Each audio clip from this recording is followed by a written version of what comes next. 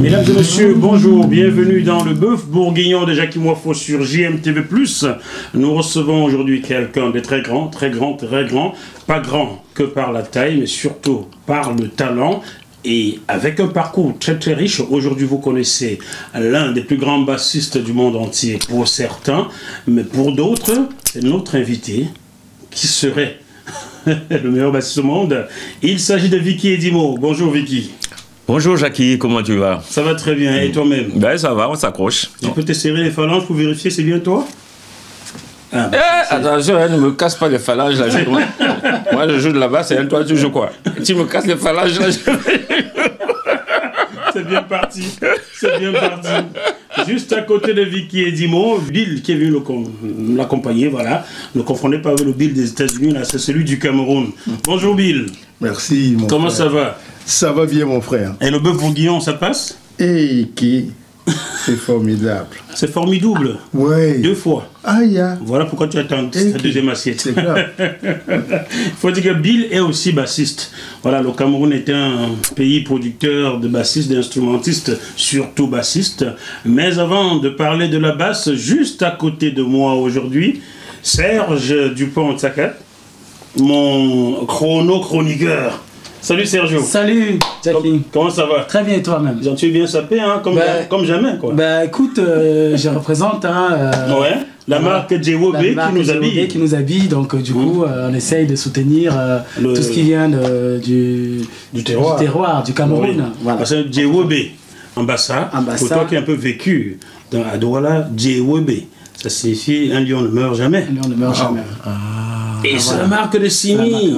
D'accord. Donc, qui nous habille, qui nous fait le. Un franco-bassin. D'accord.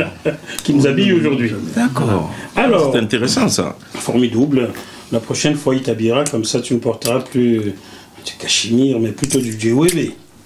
Ouais. Retour aux sources. Pourquoi pas? Pourquoi pas?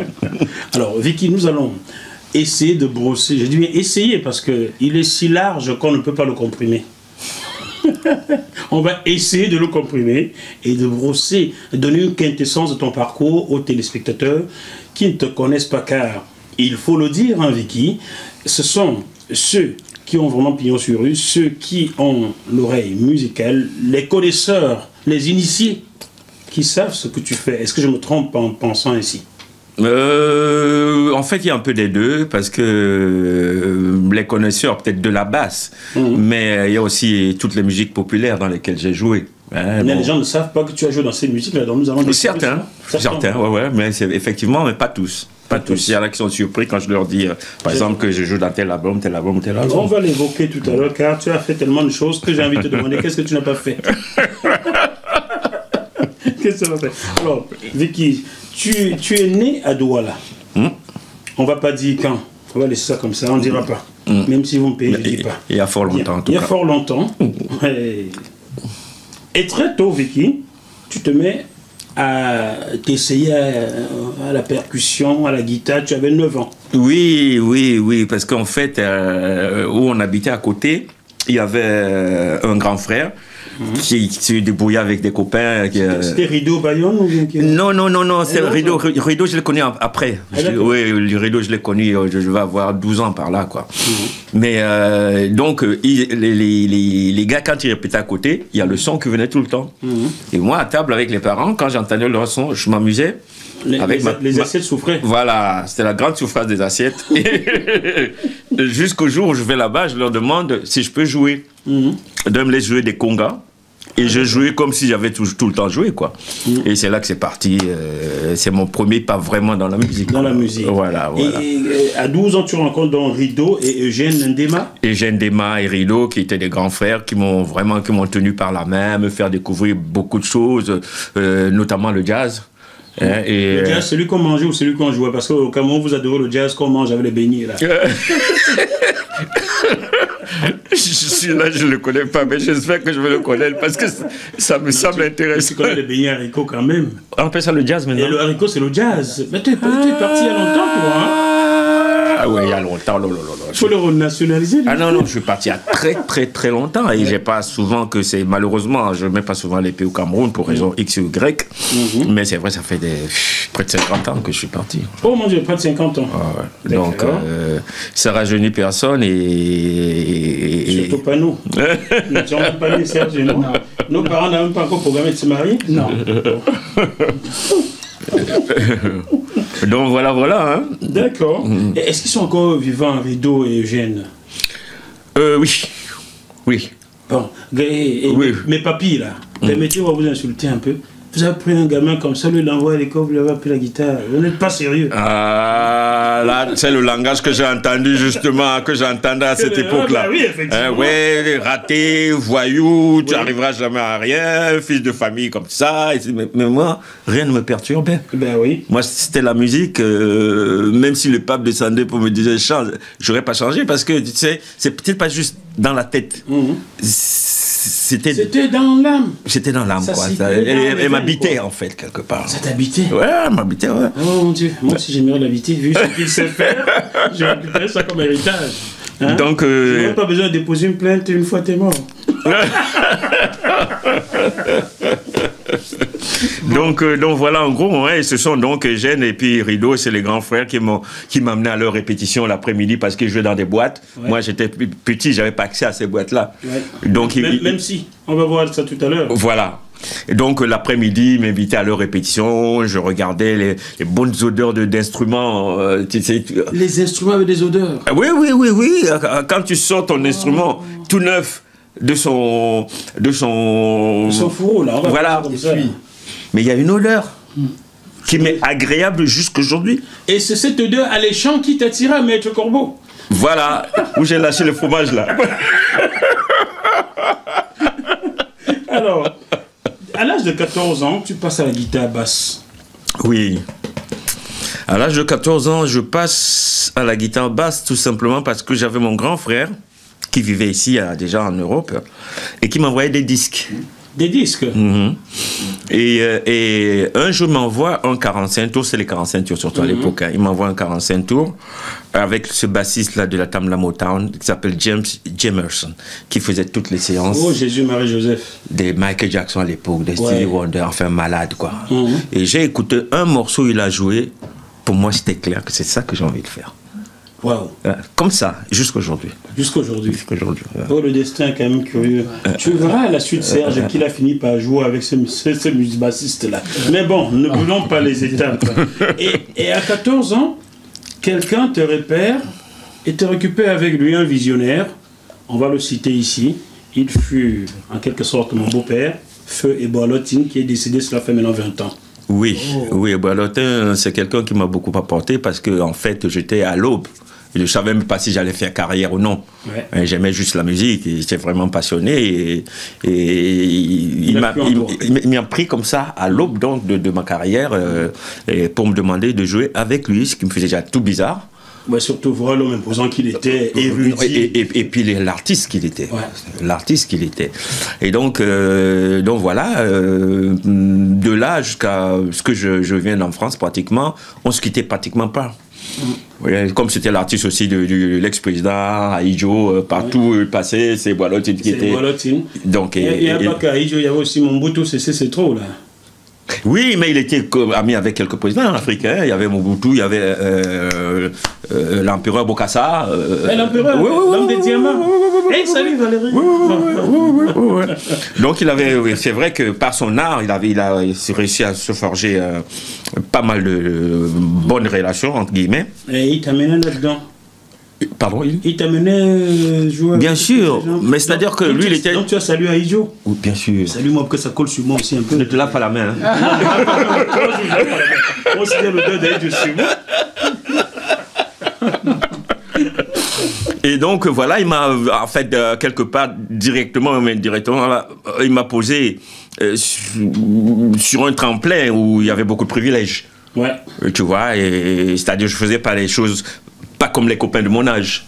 Tu vois, euh, moi j'allais, je tournais, je gagnais de l'argent, et, euh, et puis voilà. Ça, et, il était obligé de te cirer les pompes, quoi. Il? Il t'a ciré les pompes, les copains du quartier, pour. Tu habitais à quel quartier là déjà dit Moi, j'habitais à la rue Pau, je suis né à la rue Pau, j'ai grandi à la rue Pau, à Douala. Hmm. Ah ben oui, c'est comme un gars me dit, il me demande où est ton village. Je lui dis, j'ai pas de village. Il dit, Eh, un gars qui n'a pas de village. ben, on appelle ça un citadin.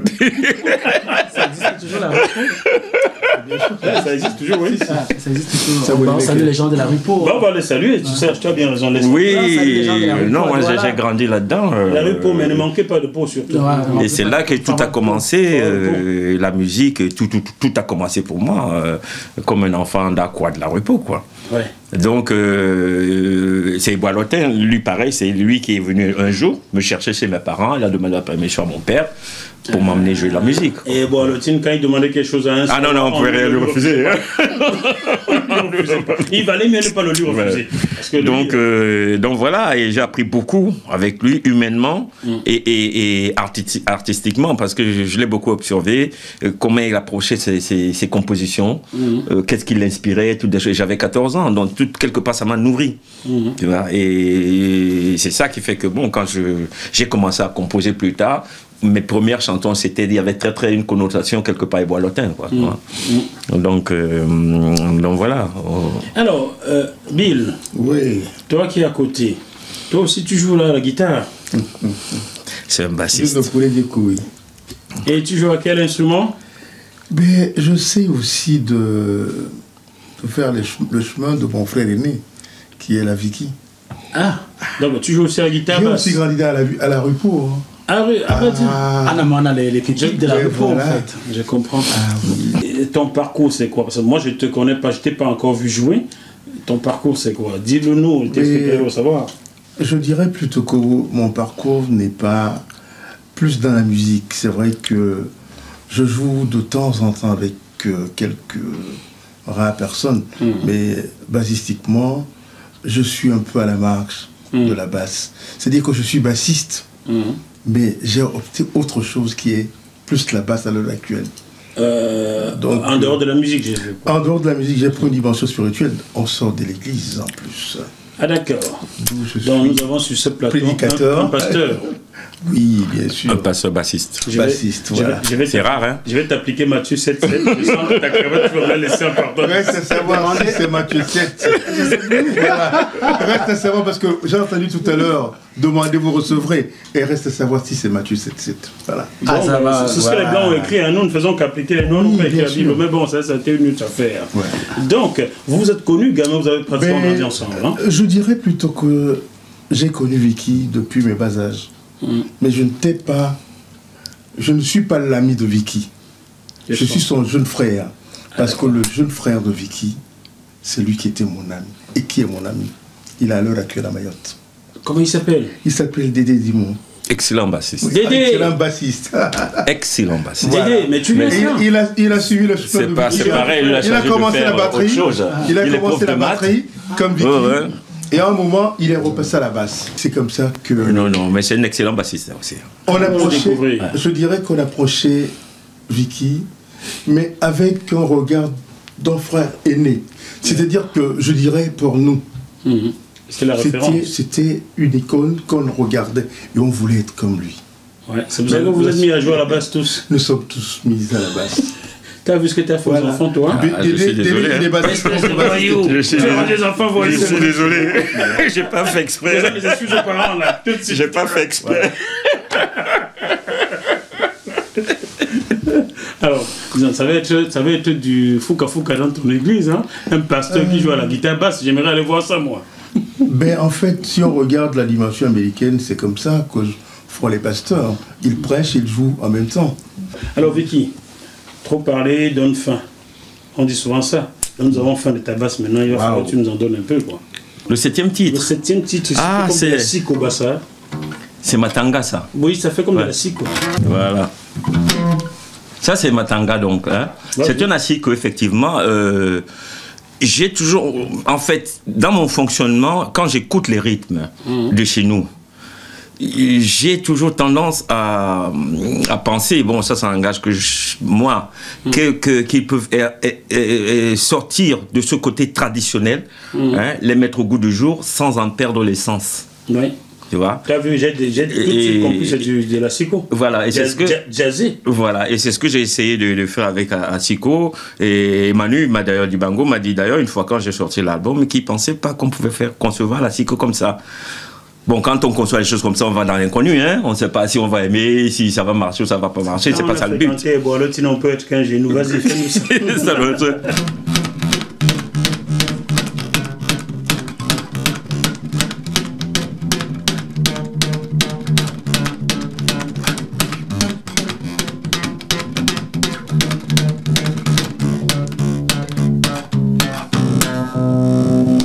ça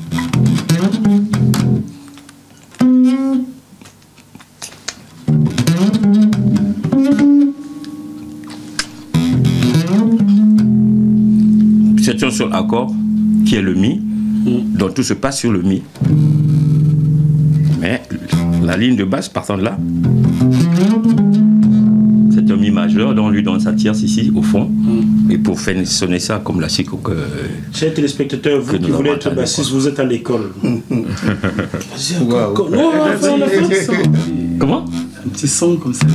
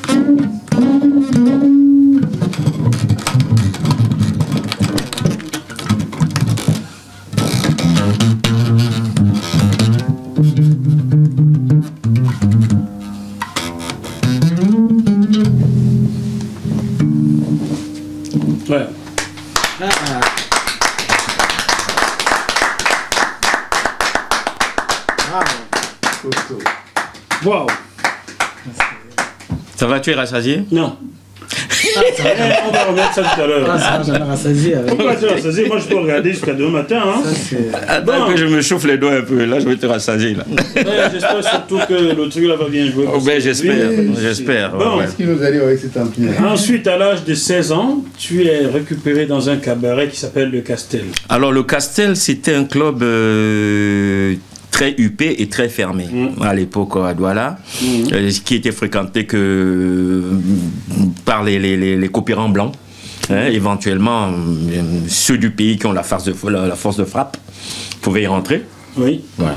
Et, et donc, voilà, un soir, un copain qui me fait Tiens, on cherche un bassiste au Castel. Bon, moi, ça me disait rien mais vraiment absolument rien parce que dans ma tête je, voulais pas j'avais pas cette, cette conception de, de profession la musique, moi, c'est un jeu. C'était pas euh, genre euh, aller jouer tous les soirs. Surtout que les parents disaient que c'était plus vrai. Ah là là là là là là. Et que les parents, ils sont pas, ils étaient pas au rendez-vous.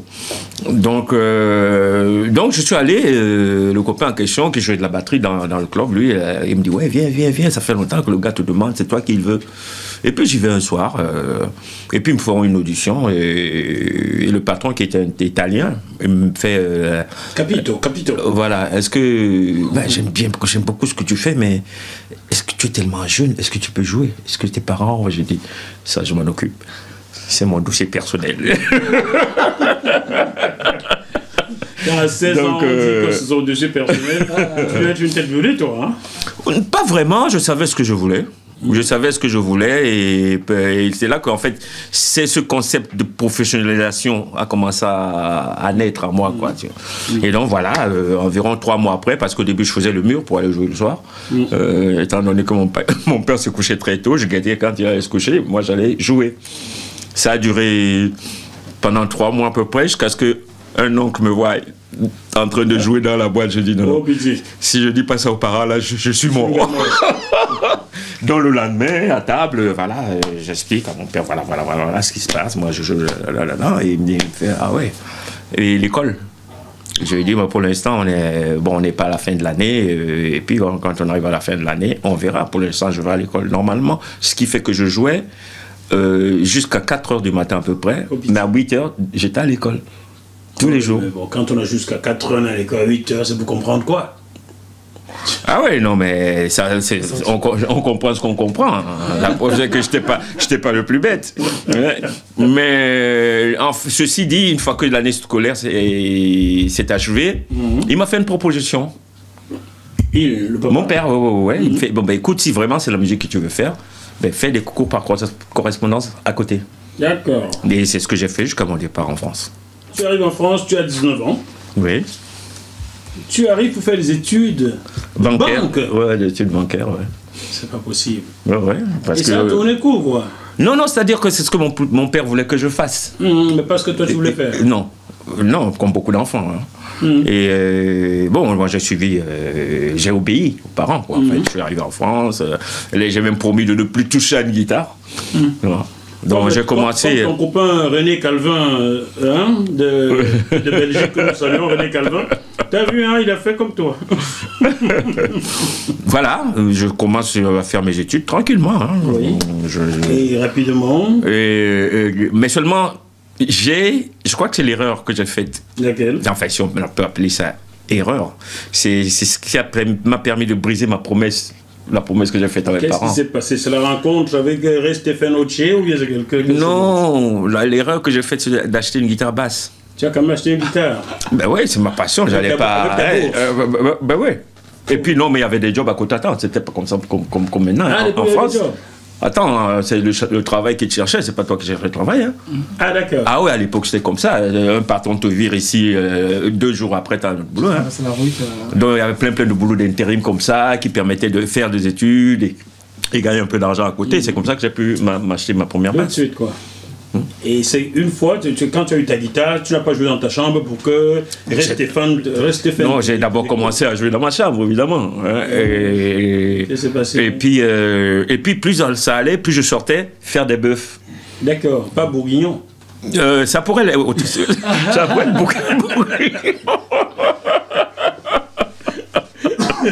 en tout cas, c'était pas des cochons, c'était des bœufs. D'accord. Alors tu sors, tu vas faire un bœuf et. Et, puis euh, à l'époque, j'ai je, commencé à jouer avec un chanteur anglais. Mm-hmm. Et puis c'est là que bon ben. Name? Euh, oh là là, j'ai oublié. Something. Okay. Uh, yeah, okay. We're talking about 50 years ago, almost. It doesn't matter. so anyway, euh, donc, euh, je tombe sur euh, Stephen O'Shea qui m'invite à une répétition. Il était nigérian? Oui, il était nigérian. Oh, Mais il travaillait, ouais, il travaillait avec des Américains dans le jazz, free jazz et autres. Quoi.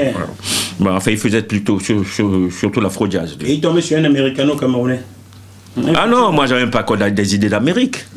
Ah non, moi j'étais déjà content d'être en de pouvoir jouer du tout. Ah, ah ben ouais. Ray te prend pour euh, jouer dans son album. Voilà.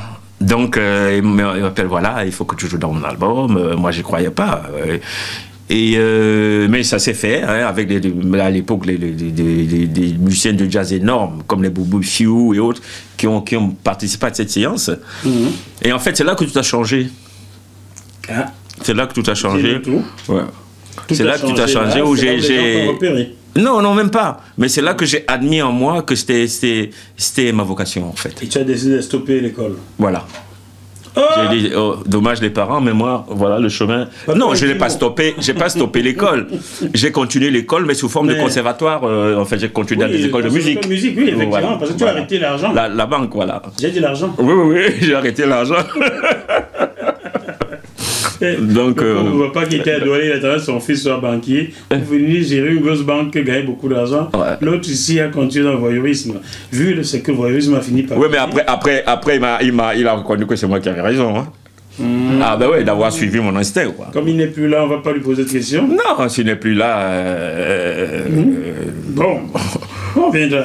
Et à partir de là, après avoir accompagné Stéphane Oche, qui était certainement Ivo, euh, il est toujours en vie? Non, non, oh, on parle des années, euh, début des années 70. Hein. Tout de suite, tu rencontres quelqu'un qui va remplacer le pasteur sur ce plateau. On est au combat. Toujours aussi beau, toujours ah, hein. aussi frais, et tout. on est au combat, on est au combat, qu'est-ce que tu ben Oui, hmm? là tout à l'heure j'ai entendu un petit son là, euh, tac tac tac, même, même le baf l'a fait la gueule. T'as vu ça tellement même frappé. Le, même le baf l'a refusé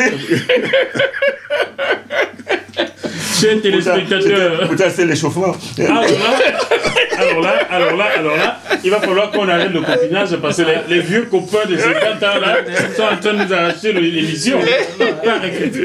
Chers téléspectateurs du bœuf bourguignon, Samy Massamba vient de remplacer le pasteur euh, Bill, donc, qui s'est retiré. Samy Massamba, vieux copain de Vicky et Dimo, vous vous rencontrez juste après que tu aies terminé ton album avec euh, Stéphane Oche, et vous décidez de former un groupe que vous appelez comment? Dicalo. Dicalo. Mhm. Dicalo qui signifie quelque chose en Kikongo? Au non. Congo, non, c'est plutôt un douala. Un douala, ça signifie quoi Mais ça doit, ça doit dire quelque chose en, en Congo, ça Mais le, le, téléphone, un téléphone. Euh, ah ben oui, c'est. Dicalo, c'est le téléphone? Oui, c'est le téléphone. C'est-à-dire qu'on communique avec euh, Dicalo. D'accord. Et un douala, c'était quoi? C'est message. Message. Ah, message, message. Ben oui. Vous avez vu, hein? Vous avez vu? Bah, je vous ai dit. Bah, il ne faut pas oublier que c'est quand même le même, le même peuple. Le même peuple, tout. Serge, ça se voit que Vicky dit moi était pour quelque chose dans le choix du nom. Ah ben... ça... Alors, dans ce groupe-là, vous étiez quatre, c'est ça? Cinq. Cinq. Cinq. Il y avait donc toi, Eko Roosevelt, Eko Roosevelt Sami Massamba, Massamba qui est là, Georges Atta qui est décédé, Père Oui. Frédéric Adjeman qui jouait de la batterie et moi. Fédois était, les, était ghanéen, non Les deux. Les deux étaient ghanéens. Oui, oui, Georges Atta et, Fédois Adjima étaient ghanéens. Deux Ghanéens, deux Camerounais, et un, Congolais, qui est le cousin des Camerounais. Voilà. On comprend pourquoi le nom d'Ikalo a été à l'unanimité choisi. Ouais, on peut dire ça comme ça. on peut dire ça Il n'y a pas eu de dictature dans le groupe? Non, non il n'y avait pas de place pour la dictature. C'est-à-dire, si tu commences des histoires de dictature, de machin, tu vas voir ailleurs, parce que nous, c'est la musique qui nous concernait, c'est pas des problèmes d'ego. Tout à fait. Tout à fait. Ça, fait combien d'années vous vous connaissez tous les deux? Dites-nous 50 ans un peu plus. Euh, on est quoi Oui, 50 ans. Non, quand même 50 ans. Tu es arrivé à l'âge de 19 ans. Oui. Je ne vais pas te donner ton âge aujourd'hui, oui, donc ça fait pas loin de 50 ans, mais pas 50 ans. Oui, c'est. 40, 40, 40 des poussières, mais pas loin de 50 ans. Oui, oui, quand même. Pas très loin. Oui, oui, Est-ce que, vous, est que vos deux parents n'ont pas ajouté un deuxième prénom sur vos noms, la fidèle Vous êtes toujours là après 50 ans après Vous êtes toujours là à pote ben, écoute, hein, la vraie amitié, en fait, c'est ça. Mm c'est pas parce qu'il est excellent musicien, on est des excellents musiciens, enfin, il faut le dire. Euh, je ne vais pas vous appeler modeste, ne vous inquiétez mais, pas. Mais je crois que, euh, oui, euh, très fidèle en amitié, on, a, on est resté vraiment très très fidèle. Mais on était déjà fidèle dans le. Au sein du groupe Au, sein du groupe. Hein. C'est un groupe qui a bien fonctionné. D'ailleurs, c'est avec beaucoup de, de regrets qu'on a, que ce groupe-là n'a pas euh, était beaucoup plus loin que ça, hein, comme le fait Kassav par exemple. Mm. Hein, des années. Euh, hein, Kassav, ça va, ça va faire quoi 40 ans à peu près? Oh, bien, Kassav est arrivé bien après nous. oui, bien, oui, bien sûr. Ça doit bientôt. Mais euh, ils sont toujours là. ça fait 35 ans, 36 ans par an. Oui, ah ben, on était là avant. 82, 83 par là. Voilà, donc à l'époque, c'était le seul groupe avec aussi Bissa. Il y avait aussi Bissa qui mm. était là. Il y avait un autre groupe aussi congolais qui était les Babina. Babina, oui, oui. Qui était dans les. qui émergeait. avec qui j'ai fait un album après d'ailleurs. Ils étaient produits par Paco Rabanne, parce qu'après c'est Paco Rabanne qui les a signés. Oui, oui, Et j'ai fait une séance sur un de Dicalo, euh, grâce à Dicalo. Euh, avec Dicalo, vous avez fait les albums. Euh, on me dit que vous avez fait l'album des Roosevelt. C'est-à-dire que quand Dicalo s'est dissous, Hein, C'est un groupe qui n'a duré qu'une année. Une année, oui. Hein, quand il s'est dissous, bon, chacun, euh, ce qui est normal, c'est préoccupé de sa carrière solo. Hein? Donc, ce qui est complètement normal. Sauf moi qui ne me préoccupais pas de carrière solo. Moi, je voulais jouer, c'est tout. Ouais, toi, tu voulais jouer avec tout le monde. voilà. Vu le nombre d'albums que tu as en 40 ans, 45 ans de carrière, on comprend que tu voulais juste jouer. Quoi. C'est tout. Tu voulais même pas chanter. Donc, même pas. Je. Donc, euh, alors, euh, on était, je me rappelle, on était dans un studio à la porte de Clignancourt qui s'appelait Studio 2000. Et c'est de 2000, oui, oui. Hein? Je- je me demande où on a fait l'album de. Decalo. Et, et donc, quand Decalo s'est disloqué, euh, euh, c'est Samy. On a d'abord fait un single Oui. pour Samy. Donc, euh, Euh, c'est-à-dire c'est- qu'une partie du groupe, oui. Gina, Oui, voilà. Gina, oui, oui, Gina. Qui avait Et- bien fonctionné d'ailleurs. Voilà. Gina. Gina, de- ouais, ouais, ouais, Tout à fait, oui. Donc, Elle va bien, Gina? Oui, oui, oui. Euh, oui, Gina va très bien. très, très bien. Elle était très jolie d'ailleurs. Non, je rigole. Non, tu sais, souvent, donc, euh, Après, donc, on a fait ce single-là qui, bon, qui a accroché. Mhm. Et euh, dans la foulée, on a fait euh, Nalandi de Roosevelt. Nalandi, eh, maman, amatimba, eh, Voilà. hum, Dans la foulée, on a fait ça. Et pendant qu'on était au studio, arrive Toto Guillaume. Il venait d'arriver du Cameroun. Wow. Ça fait la Ça, première ça fois qu'il posait 60 combien là Année 60 longtemps. 70 quoi. 60 longtemps. derrière, euh, Moi, je compte plus. Ça c'est- bon ça. ça c'est dans les années qu'on l'a 76, ça. hein, euh, 76, je crois. Euh, oui, avec Toto 76, Guillaume. 77, oui. Oui, oui, avec Et- on a fait son premier single, euh, Nasengi Miango. C'était, ça chantait comment là? Doutawase, Amuna Mama. Voilà. Voilà, voilà, voilà, voilà. Voilà, voilà. Ah, d'accord. Voilà, donc C'est on a vous? fait. Oui, oui, oui. comprend pourquoi c'était si bon? Donc, euh, donc, donc après on a enchaîné, étant donné que les 45 tours ont, ont accroché, Mhm. que ce soit chez Samy ou que ce soit chez Echo, Mhm. donc on a attaqué l'album d'Echo de, de, de, hum, Kilimanjaro. Kilimanjaro. Kilimanjaro, Voilà, donc on a attaqué cet Kilimanjaro, mama, Ouais. Kilimanjaro, yeah, yeah, Voilà, voilà, c'est nous qui faisions tout ça à l'époque. Kilimanjaro. Et puis il y a eu son album aussi après. Ah, ouais. Et puis en fait leur carrière ont décollé quoi. Waouh. Et il n'y a que moi, je voulais que je jouais de la basse jusqu'à ce que je tombe sur un producteur un jour. Après ça, vous avez poursuivi avec euh, Toto Guillaume ou ça s'arrêtait à Non, ça c'est-à-dire du coup, après, non, non, après j'ai fait euh, l'album Françoise avec lui. Après j'ai fait, je crois, trois ou quatre albums avec lui, comme ça, euh, avant que les tourines arrivent et autres, quoi. Tiens, Et- Touré, donc Touré, tu veux me piquer la place? Tu vas nous expliquer Non, je ça. suis parti aux États-unis. J'ai laissé la place libre, disons ça comme ça. C'est vrai que quand il est parti, j'ai eu à travailler avec Touré. Hein, Bah, bah, là, tu, là, tu as repris, Touré, le, le jeune frère, quoi. Euh, oui, bah, parce que j'étais j'étais en mal de. Je voulais retrouver le, mon Vicky qui était parti aux États-Unis.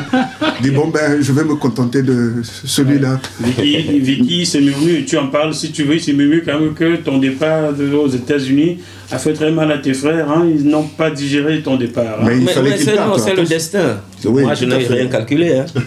Je- J'avais même pas de plan d'état d'États-Unis dans ma tête. Moi, j'étais déjà content que je sois en France, je peux jouer. Oui, oui. tu, as Non, cité des gens, bon. tu as cité des gens avec qui tu as joué. Je vais te donner des noms des personnes à qui tu as joué. Je vais te donner comme ça 5-6 et tu me donneras des anecdotes sur eux. Euh, en dehors de Echo Roosevelt, Toto Guillaume, tu as joué avec Ekambi. Vous avez joué ou bien tu as joué avec Ekambi Non, moi, parce qu'après, j'étais devenu musicien de studio, en fait. Ekambi Briand, Et tu, as- tu as j'étais, joué euh, dans quel titre, par exemple? Euh, j'ai joué dans.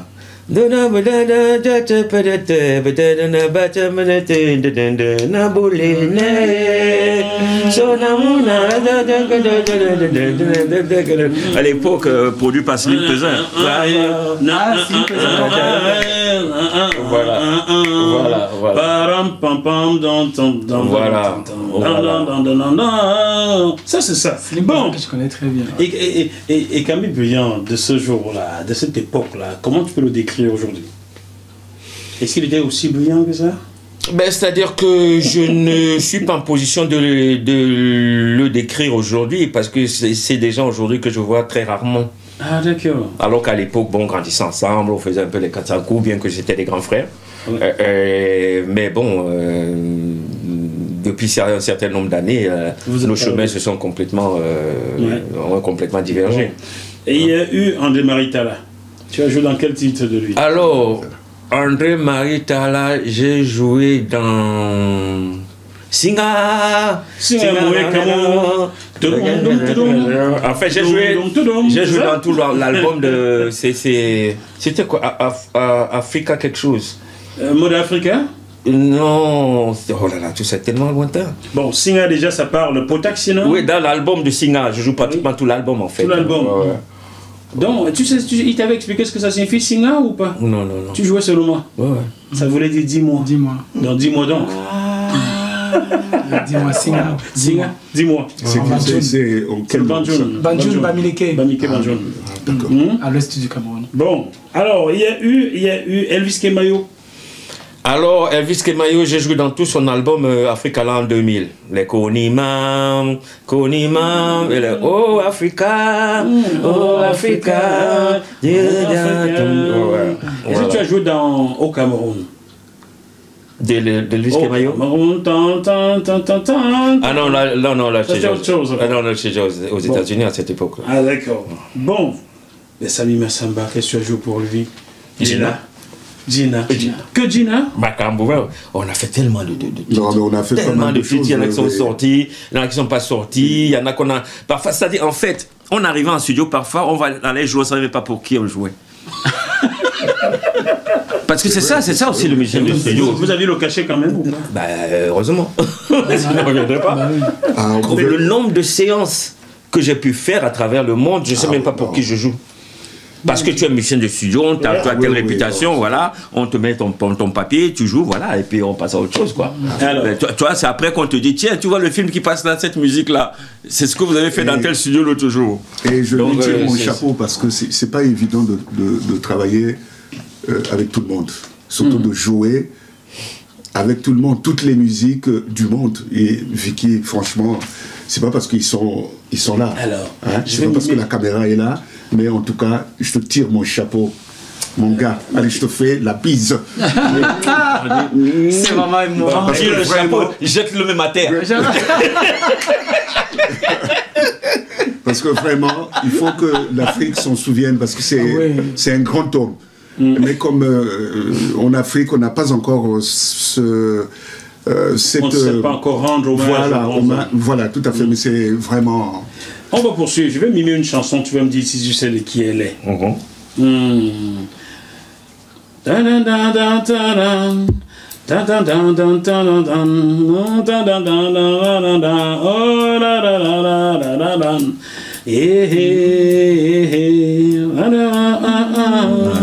Mais tu as joué avec lui, Pierre Akendengue.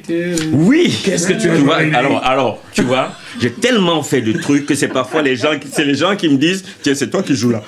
Je dis, ah bon, c'est moi. Ah non Tu vois, toi, tu me rappelles, je fais, effectivement, j'ai fait un album avec Pierre Et il y Kennegy, avait mais tu chantes, tu chantes un titre comme ça, bon, je m'en souviens plus, on parle il y a presque 50 ans. Il y avait Hello, Hello, eh, eh, Et c'est tout un eh. album, c'est pas qu'un seul titre. Oui, oui, oui, je que- sais que j'ai fait un album Mais je pense lui. que Pierre euh, était obligé parce que j'ai tourné avec Pierre à Kendengue pendant Akendengue. 5 ans. Ouais, le papa, quand salut. Pendant 5 ans. Et qu'il Ah, m'écoute euh, vraiment. Qui est toujours mon derrière vieux. le camp de Ah, la libre ça- là. Ça va mettre aussi. hein. Oui, oui, oui. Ouais. Pierre, on a, on a fait Awana ensemble. euh, euh, chapeau. Tiens, bien. Awana Awana, Awana, on a fait Awana, ensemble. On ça. a tourné euh, pas mal de fois.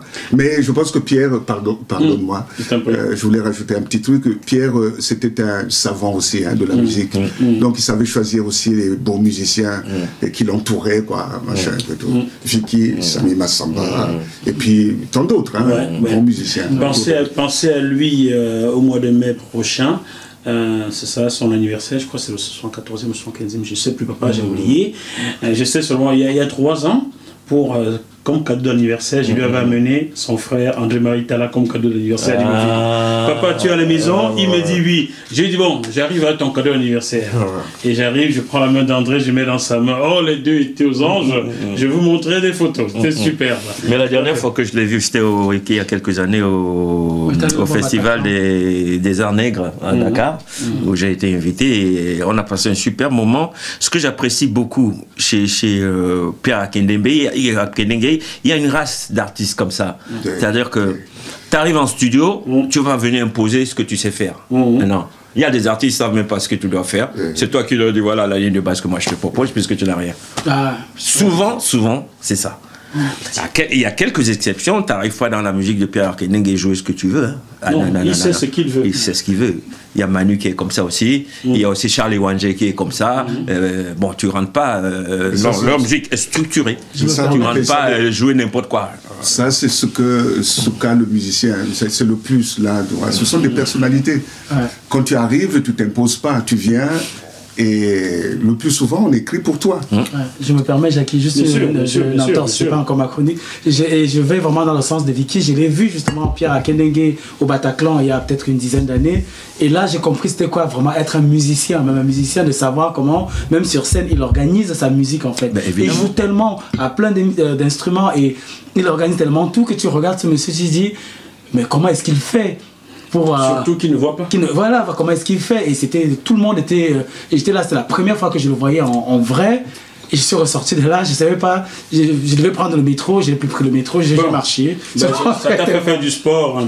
On, on- on- on va revenir sur Ouais. Vicky. Ouais, non, non, mais et, c'était et- et dès qu'Ali Bongo nous le permettra, nous irons voir Papa Pierre Kendengali lui faire son bœuf bourguignon. voilà voilà, Donc, voilà. Quand, Mais quand Ali Ali Bongo- Bongo le vaut déjà bien. Ali Bongo, il, a, il, il était musicien avant. Il, il est toujours musicien. Bon, oui, il est toujours, mais maintenant, il, est- bon, il fait de la politique. Parce qu'à l'époque, euh, on était assez proches et bon, euh, avec la politique, La on s'est fait éloigner. choses, hein. Tout mais il fait. a, fait, il a fait un seul album qu'on a fait ouais, à Los Angeles à l'époque. Mhm. euh, et donc, euh, je, peux, je peux comprendre qu'il soit un peu plus. euh, très, qu'il ait un regard euh, assez aigu sur la culture. Quoi. Il fait même mieux que ça. J'ai lu Donc, un, un euh, truc là qui m'a beaucoup euh, plu, qui m'a fait vraiment immensement plaisir. C'est qu'il va avoir une école, je crois, qui va une école américaine qui qui va s'installer au Gabon, à Libreville, qui va enseigner, euh, voilà. Parce que la musique euh, et la politique, euh, c'est Ah, ça va ensemble. Hein. Ah, je Ah oui, préfère les parce que- dissocier. On va continuer parce que la politique. Bon, d'accord. Juste, juste après avoir juste- accompagné ces artistes de ton continent, Paco Rabanne te récupère pour les États-Unis. Non.